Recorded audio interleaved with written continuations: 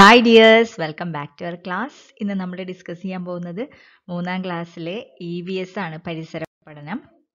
നാലാമത്തെ പാഠമായിട്ടുള്ള വൃത്തി നമ്മുടെ ശക്തി ആണ് നമ്മൾ ഡിസ്കസ് ചെയ്യാൻ പോകുന്നത്. അപ്പോൾ ഇതിന്റെ മുന്നത്തെ വീഡിയോസ് കണ്ടിട്ടില്ലെങ്കിൽ ഇതിന്റെ മുന്നത്തെ ക്ലാസ് നിങ്ങൾക്ക് കാണാൻ ആഗ്രഹം ഉണ്ടെങ്കിൽ ഞാൻ ഇതിന് മുകളിൽ ഐ കാർഡിൽ വീഡിയോ കൊടുക്കാം. അപ്പോൾ ഒന്ന് ക്ലിക്ക് ചെയ്താൽ നിങ്ങൾക്ക് നേരെ വീഡിയോയിലോട്ട് പോകട്ടോ അല്ലെങ്കിൽ ലാസ്റ്റ് പ്ലേലിസ്റ്റിൽ കൊടുക്കാം. അല്ലെങ്കിൽ എൻ സ്ക്രീനിൽ കൊടുക്കാം. അല്ലെങ്കിൽ നിങ്ങൾ പ്ലേലിസ്റ്റ് സെലക്ട് ചെയ്ത് നോക്കുക കേട്ടോ. അപ്പോൾ വീഡിയോ ഇഷ്ടപ്പെട്ടിട്ടുണ്ടെങ്കിൽ മനസ്സിലായിട്ടുണ്ടെങ്കിൽ ലൈക്ക് ചെയ്യാൻ മറക്കരുത്. അപ്പം നമ്മൾ കഴിഞ്ഞ ക്ലാസ്സിൽ പഠിച്ചത് കണ്ണുകൊണ്ട് കാണാൻ പറ്റുന്ന എലികൾ അതുപോലെ തന്നെ കൊതുക് ഈച്ച ഇവയൊക്കെ പരത്തുന്ന രോഗങ്ങളെ കുറിച്ചിട്ടാണ് അല്ലേ? അപ്പോൾ ഇവ കണ്ണിൽ കാണാൻ പറ്റുന്നതിന് പുറമെ കാണാൻ പറ്റാത്ത കുറച്ച് ജീവികളും കൂടി നമ്മളുടെ ഈ ഒരു ഭൂമിയിലുണ്ട്. അപ്പോൾ അവയെ അപ്പോൾ നമ്മൾ എന്താ ചെയ്യുക അവയൊക്കെ നമുക്ക് ഇല്ലാതാക്കാൻ പറ്റില്ല അല്ലേ? അപ്പോൾ അതുകൊണ്ട് തന്നെ നമ്മൾ എന്തൊക്കെ കാര്യങ്ങൾ നമ്മൾ ശ്രദ്ധിക്കണം? ഈ ജീവികൾ പെരുകാൻ പെരുകാതിരിക്കാൻ എന്തൊക്കെ കാര്യങ്ങൾ നമ്മൾ ചെയ്യണം എന്നുള്ളതാണ് ഇന്ന് നമ്മൾ പറയാൻ പോകുന്നത്. ചപ്പ് ചവറുകൾ കൂടിക്കിടക്കാൻ അനുവദിക്കരുത്. ഒന്നാമത്തെ എന്താണ്? ചപ്പ് ചവറുകൾ കൂടിക്കിടക്കാൻ അനുവദിക്കരുത്. അതുപോലെ തന്നെ വെള്ളം കെട്ടിക്കിടക്കുന്നത് ഒഴിവാക്കുക.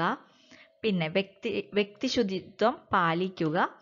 വീട് വിദ്യാലയം പൊതുസ്ഥലങ്ങൾ എന്നിവ വൃത്തിയായി സൂക്ഷിക്കുക. നാം കഴിക്കുന്ന ഭക്ഷണവും വെള്ളവും ശുദ്ധമായിരിക്കണം. അപ്പൊ ഈ കാര്യങ്ങളൊക്കെ നമ്മൾ ശ്രദ്ധിക്കണം. പിന്നെ ഇനി നിങ്ങൾക്ക് എന്തെങ്കിലും കാര്യങ്ങൾ ശ്രദ്ധിക്കാനുള്ള നിങ്ങൾക്ക് എന്തെങ്കിലും കാര്യങ്ങൾ അറിയാവുന്നെങ്കിൽ ഇവിടെ ഈ രണ്ട് പോയിന്റും കൂടിയും ഇതിലേക്ക് കൂട്ടിച്ചേർക്കണം കേട്ടോ. അടുത്തത് അടുത്ത ഡ്രൈ ഡേനെ കുറിച്ചിട്ടാണ് പറയാൻ പോകുന്നത്. എന്താണ് ഡ്രൈ ഡേ കെട്ടിക്കിടക്കുന്ന വെള്ളത്തിലാണ് കൊതുകുകൾ മുട്ടയിടുന്നത് അല്ലെ? മുട്ട ഇടുക മാത്രമല്ല മുട്ടയിട്ട് പെരുകുന്നത്. മുട്ട വിരിഞ്ഞ് ഒരു എട്ട് ദിവസം കൊണ്ട് കൊതുകുകൾ പൂർണ വളർച്ചയെത്തും. ഇതൊക്കെ നമ്മൾ കഴിഞ്ഞ ക്ലാസ്സിൽ പറഞ്ഞതാണ് അല്ലേ? അപ്പം നമ്മുടെ ചുറ്റുപാടുകളിൽ എന്തൊക്കെ കാര്യങ്ങൾ നമ്മൾ ഉപേക്ഷിച്ചിട്ടുള്ള സാധനങ്ങളൊക്കെ ഉണ്ടല്ലോ? ചിരട്ട അതുപോലെ തന്നെ പാത്രങ്ങൾ ടയർ കുപ്പി കളിപ്പാട്ടങ്ങൾ. ഇതിലൊക്കെ വെള്ളം കെട്ടിക്കിടക്കാൻ സാധ്യതയുണ്ട്.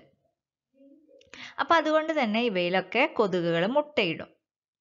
അതുകൊണ്ട് ഓരോ ഏഴ് ദിവസം കൂടുമ്പോഴും നമ്മൾ എന്ത് ചെയ്യണം? ആ ഇവയിൽ വെള്ളം കെട്ടിക്കിടക്കുന്ന സാധനങ്ങളൊക്കെ ഉണ്ടെങ്കിൽ അതൊക്കെ മറിച്ച് കളഞ്ഞ് വെള്ളം കളയണം. അപ്പോൾ ഇങ്ങനെ കൊതുകുകൾ വളരുന്ന സാഹചര്യങ്ങൾ ഒഴിവാക്കാം. അപ്പോൾ ഈ പ്രവർത്തനത്തിന് പറയുന്ന പേരാണ് ഡ്രൈ ഡേ.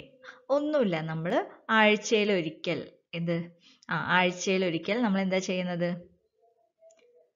ആ ഒരു ഏഴ് ദിവസം കൂടുമ്പോഴും ആവശ്യമില്ലാത്ത സാധനങ്ങളൊക്കെ അതിലൊക്കെ വെള്ളം വെള്ളം ഒക്കെ കെട്ടിക്കിടക്കുന്നുണ്ടെങ്കിൽ അതൊക്കെ മറിച്ച് കളയുക. ഒന്ന് നമ്മളുടെ വീടും പരിസരമൊക്കെ ഒന്ന് വൃത്തിയാക്കുക. അതാണ് ഡ്രൈ ഡേ എന്ന പേരിൽ അറിയപ്പെടുന്നത്. വീടുകളിലും വിദ്യാലയങ്ങളിലും ഒക്കെ നടക്കുന്ന ഈ ഒരു പ്രവർത്തനത്തെയാണ് ഡ്രൈ ഡേ എന്ന പേരിൽ അറിയപ്പെടുന്നത്. അപ്പം നിങ്ങൾ എന്താ ചെയ്യേണ്ടതെന്ന് വെച്ചിട്ടുണ്ടെങ്കിൽ നിങ്ങൾ ഒരു ദിവസം ഡ്രൈ ഡേ ആചരിക്കുക.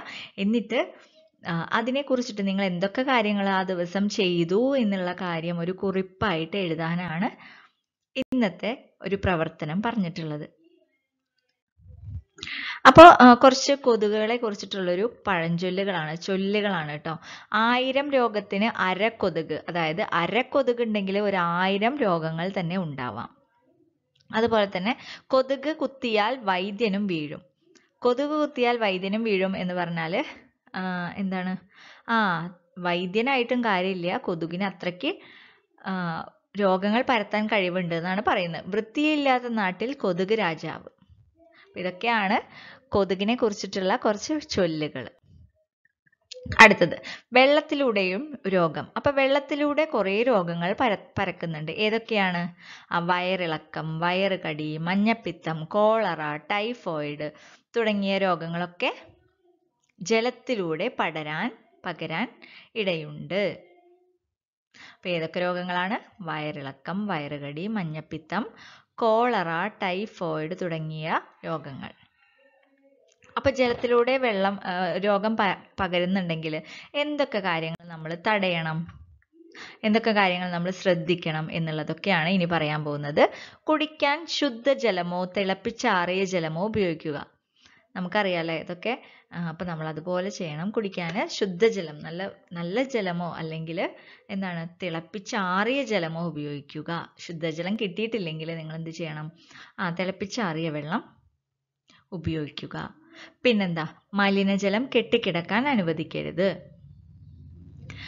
പിന്നെ നമ്മൾ നേരത്തെ പറഞ്ഞ പോലെ ഡ്രൈ ഡേ ഒക്കെ ആചരിക്കുക അല്ലേ? പിന്നെ തുറന്നു വെച്ചതോ പഴകിയതോ ആയ പാനീയങ്ങൾ കുടിക്കരുത്. എന്താ എന്തുകൊണ്ടാണ്? ആ അതിൽ ഈച്ചയും കൊതുകും ഒക്കെ വന്ന് ഇരിക്കാൻ ചാൻസ് ഉണ്ട് അല്ലേ? അപ്പോൾ പെട്ടെന്ന് നമ്മൾ തുറന്നു വെച്ചത് നമുക്കത് കണ്ണുകൊണ്ട് കാണാൻ പറ്റില്ല ആ രോ ആ, രോഗാണുക്കളെ ഒന്നും. പക്ഷേ അതെന്താ എന്താണ് സംഭവിക്കുക? ആ രോഗ രോഗാണുക്കളൊക്കെ എന്ത് ചെയ്യും? ആ കെട്ടിക്കിടന്നിട്ട് അതിൽ മുട്ടയിടുകയോ അല്ലെങ്കിൽ അവയുടെ കാലിൽ ഈച്ച ഈച്ചയുടെ ഒക്കെ കാര്യം നമ്മൾ പറഞ്ഞില്ലേ? ഈച്ചയുടെ ഒക്കെ കാലിന്റെ അടിയിൽ ഒരുപാട് രോഗാണുക്കളുണ്ട്. അപ്പോൾ അതുകൊണ്ട് എല്ലാം ആ ഒരു പാനീയത്തിലേക്ക് വീഴുകയും അതിൽ നിന്നും രോഗാണുക്കൾ നമ്മളിലേക്ക് എത്തുകയും ചെയ്യും. അപ്പോൾ നമുക്കും അസുഖമാവും. അപ്പോൾ അതുകൊണ്ട് തുറന്നു വെച്ചതോ പഴകിയതോ ആയിട്ടുള്ള പാനീയങ്ങൾ കുടിക്കരുത്. കുടിവെള്ള സ്രോതസ്സുകൾ ശുദ്ധമാണെന്ന് ഉറപ്പുവരുത്തുക. കുഴിവെള്ള സ്രോതസ്സുകൾ ശുദ്ധമാണെന്ന് ഉറപ്പുവരുത്തുക. പിന്നെന്താ? ആ അതുപോലെ തന്നെ നമ്മൾ മലി മലി മലിനജലമൊക്കെ കിണറിലേക്ക് ആവാതെ ശ്രദ്ധിക്കുക. അതുപോലെ തന്നെ നമ്മൾ മുന്നേ കുറച്ച് കാര്യങ്ങൾ പറഞ്ഞിട്ടുണ്ടായിരുന്നില്ലേ? കിണ കിണറ്റിന്റെ കരയിൽ നിന്നും കുളിക്കാതിരിക്കുക. അതൊക്കെ ഇതിൽ ഉൾപ്പെടുത്താൻ പറ്റും കേട്ടോ അപ്പോൾ എന്തൊക്കെ വെള്ളം മലിനമാകാതിരിക്കാൻ ശ്രദ്ധിക്കേണ്ട കാര്യങ്ങൾ എന്നുള്ളതൊക്കെ അതിൽ ഉൾപ്പെടുത്താം. മുന്നത്തെ ക്ലാസ്സിലൊക്കെ നമ്മൾ ചെയ്തിട്ടുണ്ട് അല്ലേ? ഓരോ പ്രവർത്തനങ്ങൾ അതൊക്കെ ഇതിൽ ഉൾപ്പെടുത്താം കേട്ടോ.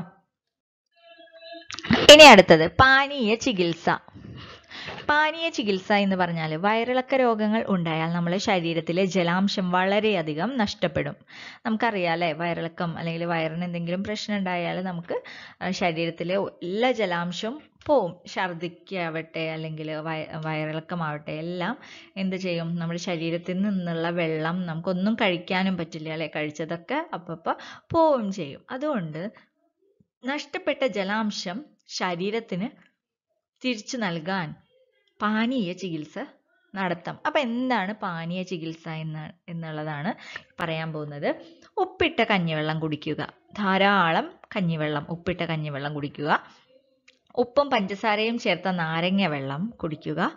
ഉപ്പിട്ട സംഭാരം കരിക്കിൻ വെള്ളം ഇതൊക്കെ കുടിക്കാൻ കൊടുക്കണം. വയറിളക്ക രോഗം ഉണ്ടായിട്ടുണ്ടെങ്കിൽ എന്ത് ചെയ്യണം? ഈ വക എല്ലാ ചികിത്സയും എല്ലാ പാനീയങ്ങളും നമുക്ക് കുടിക്കാം. അപ്പോൾ പ്രാഥമിക ആരോഗ്യ കേന്ദ്രങ്ങളിൽ നിന്ന് ലഭിക്കുന്ന ഒ ആർ എസ് നിങ്ങൾക്ക് അറിയുണ്ടാവില്ലേ ഒ ആർ എസ് നമുക്ക് ഹെൽത്തിൽ നിന്നൊക്കെ നമുക്ക് ഹെൽത്ത് ഡിപ്പാർട്ട്മെന്റിൽ നിന്നൊക്കെ നമുക്ക് കിട്ടും. ഹോസ്പിറ്റലിൽ നിന്നൊക്കെ നമുക്ക് ഒ ആർ എസ് കിട്ടും അല്ലേ അപ്പോൾ ഇതൊക്കെ മിശ്രിതം തിളപ്പിച്ചാറിയ ഒരു ലിറ്റർ വെള്ള ജലത്തിൽ കലക്കി ഇടയ്ക്കിടയ്ക്ക് കുടിക്കാൻ കൊടുക്കാം അല്ലേ? അപ്പോൾ അതൊക്കെയാണ് പാനീയ ചികിത്സ എന്ന് പറയുന്നത്. അപ്പോൾ ഇന്നത്തെ ക്ലാസ് ഇത്രയേ ഉള്ളൂ. അപ്പോൾ എല്ലാവർക്കും നല്ലൊരു ദിവസം ആശംസിക്കുന്നു. വീഡിയോ ഇഷ്ടപ്പെട്ടാൽ ലൈക്ക് ചെയ്യാൻ മറക്കരുത്. സബ്സ്ക്രൈബ് ചെയ്യാത്തവർ സബ്സ്ക്രൈബ് ചെയ്യുക തൊട്ടപ്പുറത്തെ ബെല്ലൈക്കൺ പ്രസ് ചെയ്താൽ ഞാൻ പുതിയ വീഡിയോസ് അപ്ലോഡ് ചെയ്യുമ്പോൾ നിങ്ങൾക്ക് നോട്ടിഫിക്കേഷൻ വരും. അപ്പോൾ ഇനി അടുത്ത ക്ലാസ്സിൽ കാണാം. താങ്ക്